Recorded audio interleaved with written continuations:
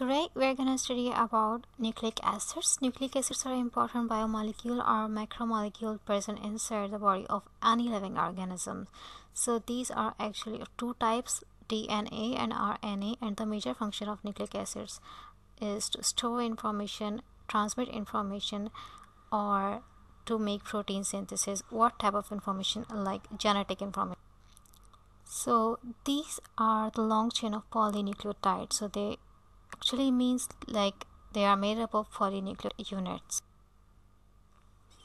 So if we talk about the components of nucleotides, then we have nitrogenous base, pentose sugar, phosphate in their structure. And if we talk about further functions of nucleotides, then they play a role as structural components of some coenzymes, FAD and NAD.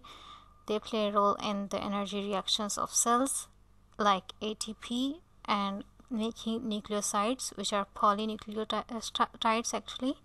So biosynthesis of polysaccharides like glycogen and these type of nucleotides UDP and ADP are the examples. And CDP and CTP nucleotides used in biosynthesis of phospholipids and they are also act as second messenger. So there are different types of nucleotides mono di and poly and the example of mononucleotide are ATP and uh, for dinucleotide FAD and NAD are the examples and poly that are used in nucleo nucleic acid synthesis. Then we will talk about the structure of nucleotide.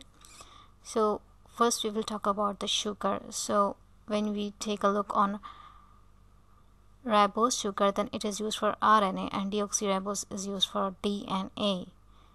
So this is 5 carbon sugar so that's why we call this pentose sugar. Then further we have nitrogenous bases and phosphate group attached.